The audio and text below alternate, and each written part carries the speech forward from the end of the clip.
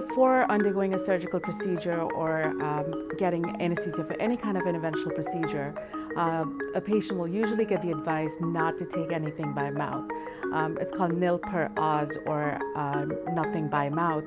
Uh, the reason we do this is to prevent uh, and to minimize any risk of aspiration. What that means is uh, if a patient vomits uh, after procedure, uh, either because of the effects of the surgery itself or because uh, of the effects of the anesthetic medications, really want to try and minimize the risk of the vomitus because this can cause something called um, an aspiration pneumonia. With aspiration pneumonia, the food contents or the acidic contents uh, in the stomach, instead of going down, basically comes back up and goes into the lungs. Um, and it could be quite catastrophic for the patient.